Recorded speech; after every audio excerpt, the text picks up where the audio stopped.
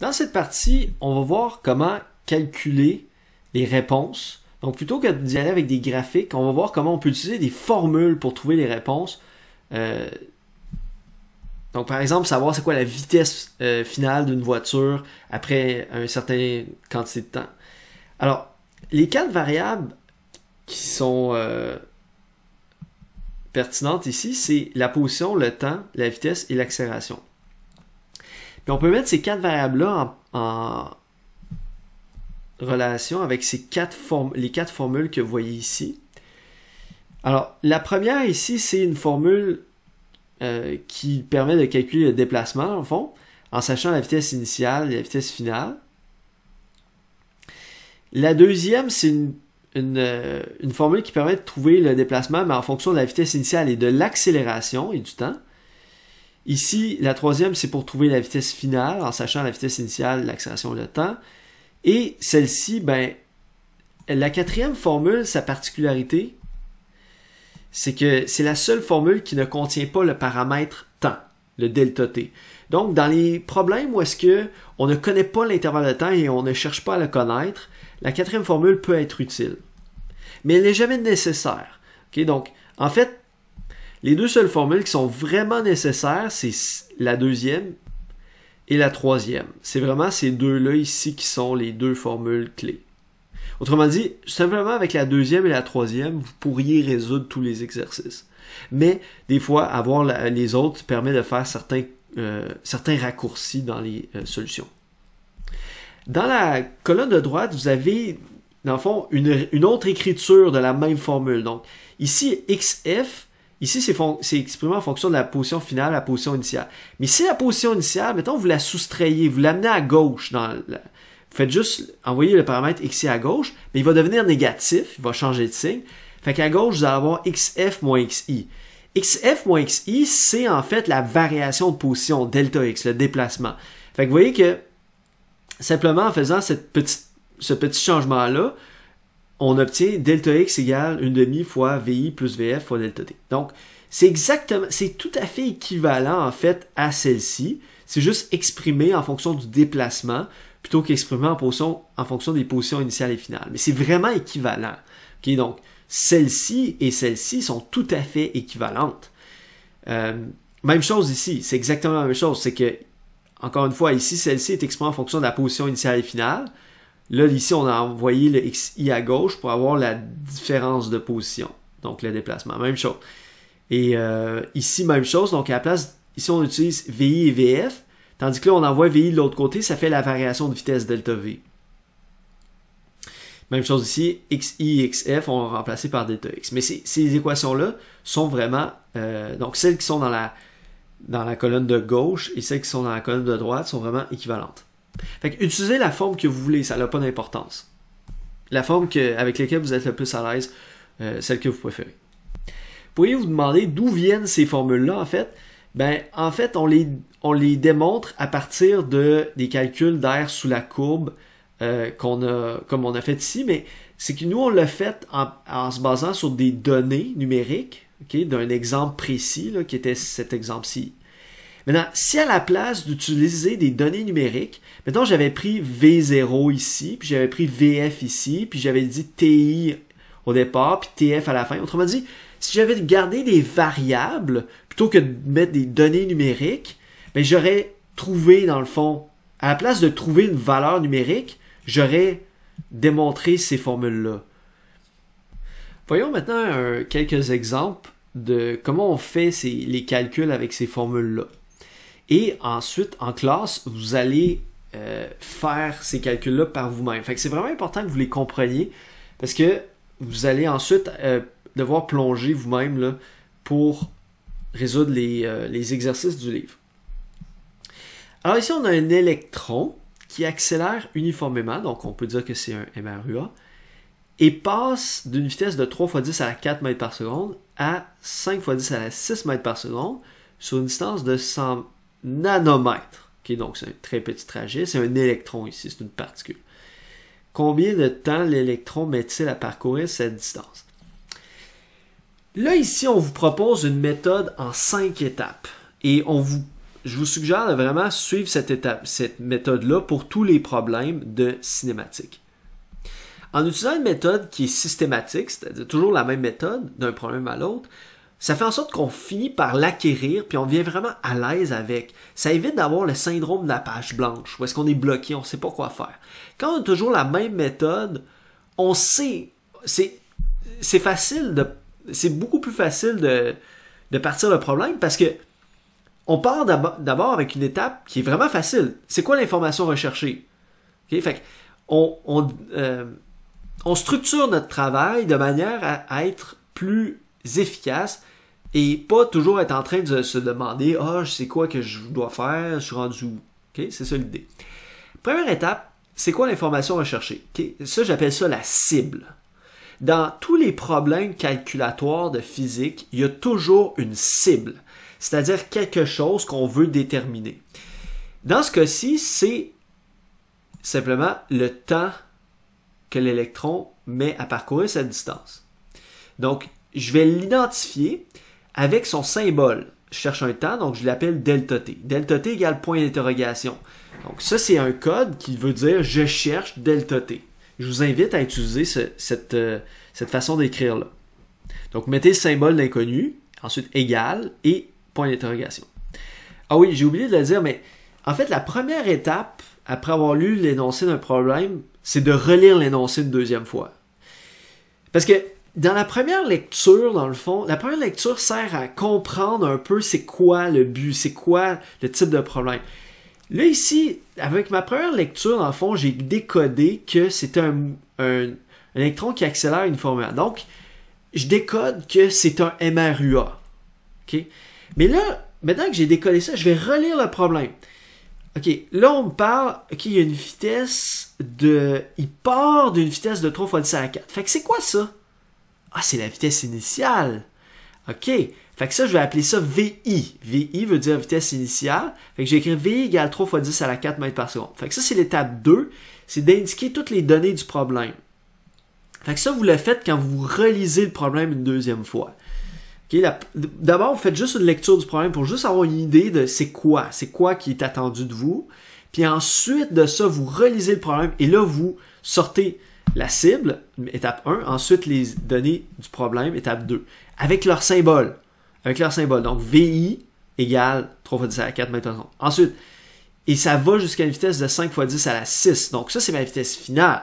Fait que je vais l'appeler VF. VF égale 5 fois 10 à la 6 mètres par seconde. Vous voyez?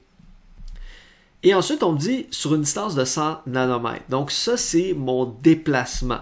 Fait que c'est mon delta x. Bon, ici, on va appeler ça xf moins xi, mais je pourrais juste l'appeler delta x est égal à 100 nanomètres.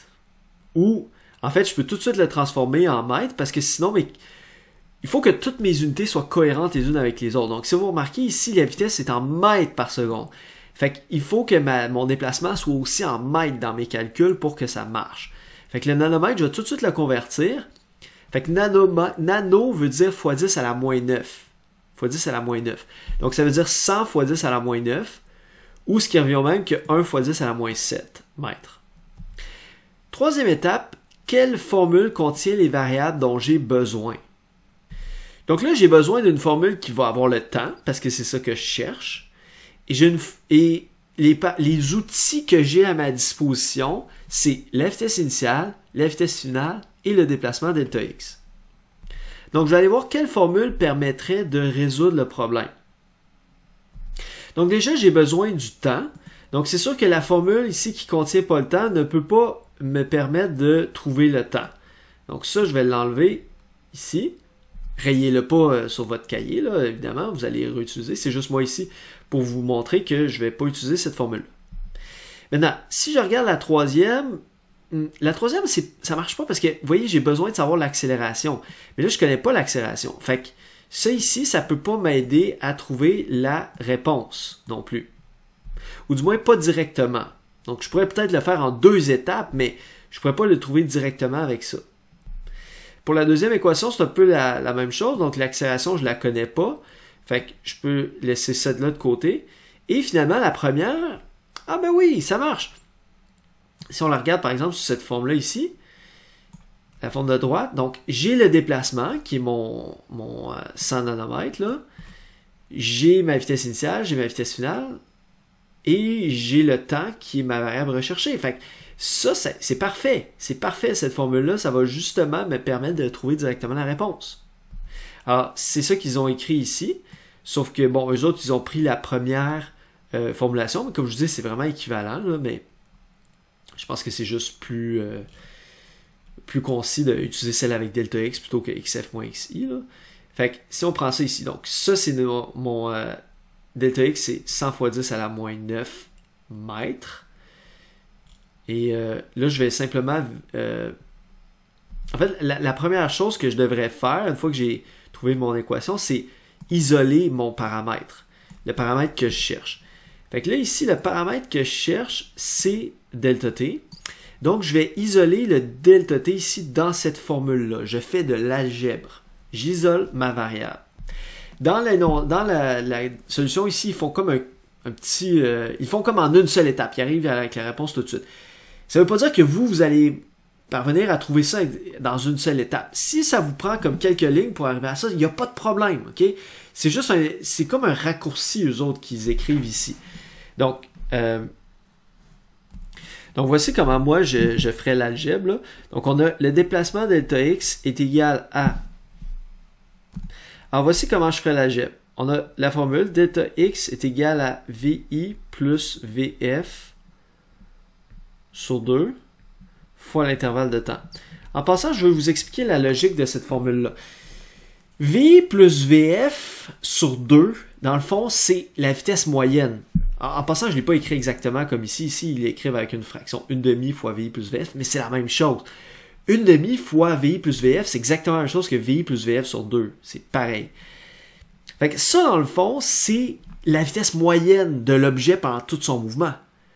Hein? Comme on avait fait dans l'exemple précédent, on avait la voiture qui allait de 0 à 40. Fait qu'en moyenne, 0 plus 40 sur 2, ça donnait une vitesse moyenne de 20 mètres par seconde, hein, dans l'exemple précédent qu'on avait fait. Fait que ça, c'est la vitesse moyenne que l'objet a. Puis ensuite, vous prenez cette vitesse moyenne-là et vous multipliez par l'intervalle de temps, et ça vous donne le déplacement. C'est logique. Alors là, le but ici, c'est d'aller euh, isoler le delta t. Donc, ce que je vais faire, c'est que je vais amener le 2 ici de l'autre côté. Et là, la logique, c'est toujours quand je euh, quand j'envoie un terme d'un autre, de l'autre côté de l'équation, je dois toujours faire l'opération inverse. Fait qu'autrement dit, ici, le 2, il est divisé. Fait que pour l'amener de l'autre côté de l'équation, je dois le multiplier.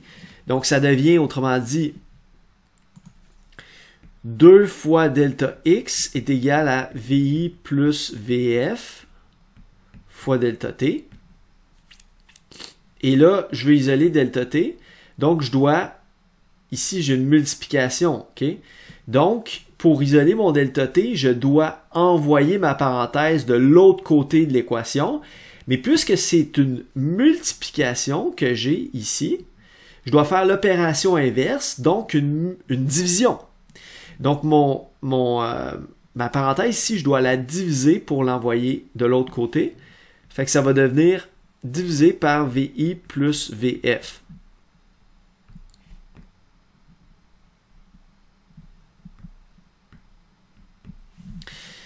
Donc, delta t égale 2 fois le déplacement divisé par VI plus VF. Ça revient à la même chose que ce qu'ils ont écrit ici. Et une fois qu'on a ça, là, c'est simple parce qu'on a juste à remplacer les, données numériques dans la formule. Donc, je fais 2 fois le déplacement qui est 1 fois 10 à la moins 7 mètres, ou si vous voulez 100 fois 10 à la moins 9, ce qui est la même chose, divisé par l'addition des deux vitesses, donc 3 fois 10 à la 4 plus 5 fois 10 à la 6. Et là, c'est très important que vous respectiez la priorité des opérations. Donc, exemple, exemple, il faut pas faire 2 fois 1 fois 10 à 7 divisé par 3 fois 10 à 4, puis ensuite faire plus 5 fois 10 à 6. Ça, ça serait erroné. La priorité des opérations, ce qu'elle dit ici, c'est que vous devez d'abord calculer le numérateur, ensuite le dénominateur de manière séparée, et ensuite vous faites la division à la toute fin. Donc, vous faites d'abord le, calcul du numérateur, ensuite vous faites le calcul du dénominateur, et ensuite vous faites la division. Et ça va donner 3.98 fois 10 à la moins 14 secondes. Là, souvent, on va arriver dans des calculs qui ne vont pas donner un nombre pile, comme c'est le cas ici. Fait que, ultimement, vous n'avez pas besoin de retranscrire tous les, chiffres de votre calculatrice. Vous allez perdre votre temps si vous faites ça. Ça n'a pas d'importance. Dans le fond, moi, ce qui compte, c'est que le calcul soit bon. C'est pas d'avoir 1000 chiffres. Fait que, dans le fond, ce que, je veux voir, moi, c'est trois chiffres dans la réponse. C'est toujours ça la règle qu'on va utiliser. C'est la réponse, dans le fond, vos, euh, vos calculs et la réponse, faites juste garder trois chiffres, tout simplement. Fait qu'ici, on arrondit, puis ça donne 3.98, si on garde trois chiffres, fois 10 à la moins 14 secondes. Mais le x10 à la moins 14, il ne compte pas dans les chiffres significatifs. Les, chiffres significatifs, c'est juste ça ici. C'est ce qui est devant la multiplication, le 3.98. Fait que ça, c'est trois chiffres. c'est ça la convention qu'ils utilisent dans le livre. C'est ça que je vous demande aussi dans le cours. Et en dernier lieu, étape 5, on répond à la question avec une phrase. Donc l'électron a mis 4. Bon, là ici, ils l'arrondissent. Euh, mais moi, je, vous dis de ne pas l'arrondir. Donc je vous dis de euh, je garderai en fait 3.98. ok? Donc, l'électron a mis 3.98 fois 10 à moins 14 secondes pour parcourir les 100 nanomètres.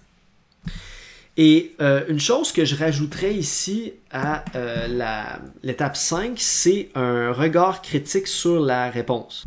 Alors, c'est que j'ai écrit ici un regard critique sur la réponse. Ça veut dire quoi? Ça veut dire prendre quelques instants pour se demander si la réponse a du sens. Alors, ici, on obtient une valeur qui est autour de 4 fois 10 à la moins 14 secondes. Alors, ça, évidemment, c'est comme si vous aviez 0.0000000. C'est un, puis éventuellement 4. OK? Fait que vous avez un très, très, très petit nombre. En fait, c'est comme 0. Ensuite, vous mettez 14 zéros. Puis ensuite, il y a un 4. OK? Fait que c'est un très très très petit nombre. Est-ce que ça a du sens ici? Ben, en fait, ce qu'il faut comprendre, c'est que ici, c'est une particule. Hein? C'est pas un ballon de baseball, euh, pardon, c'est pas un ballon de basket ou une balle de baseball ou un chat. C'est un électron. Puis la distance qui est parcourue est seulement de 100 nanomètres. Donc c'est une, tout, une distance qui est microscopique. Fait que, considérant que c'est une particule qui parcourt une distance microscopique, est-ce que ça se peut que ça, prenne un temps qui est microscopique? Oui. donc ici, la réponse a du sens parce que c'est une particule qui parcourt une distance microscopique. Puis l'importance de ça, c'est que, un, on veut développer votre euh, jugement critique, c'est important en science, puis c'est aussi parce que ça va vous permettre de détecter les erreurs quand vous en avez des fois. C'est sûr que là, mettons que j'avais eu euh, 2 fois 10 à la moins 14, ben j'aurais pas pu détecter les erreurs juste en regardant la réponse. Mais si j'avais obtenu, mettons, euh, mettons que j'avais obtenu 3200 secondes, ben là, j'aurais pu me douter qu'il y a quelque chose qui cloche parce que c'est un, une distance microscopique, fait que je m'attends à avoir un temps qui est très très petit. Donc, ça permet de détecter les erreurs, puis euh, dans les examens, si vous détectez une erreur, c'est vraiment important que vous l'écriviez. Euh, idéalement, c'est d'essayer de ensuite revoir votre démarche pour essayer de corriger l'erreur. Ok, c'est ça. Mais si jamais vous n'avez pas le temps de corriger l'erreur ou que vous ne trouvez pas l'erreur, il faut au moins dire quand même que ah, ma réponse, ma réponse a du sens ou ma réponse n'a pas de sens. Pour que je vois que vous avez euh, fait un regard critique sur votre réponse. Maintenant, je vais vous laisser étudier par vous-même les deux exemples qui suivent. Donc l'exemple ici et l'exemple ici avec le ballon. Ah, j'ai oublié aussi, il y avait un, quatrième exemple aussi avec un avion. Alors celui-là aussi euh, à étudier.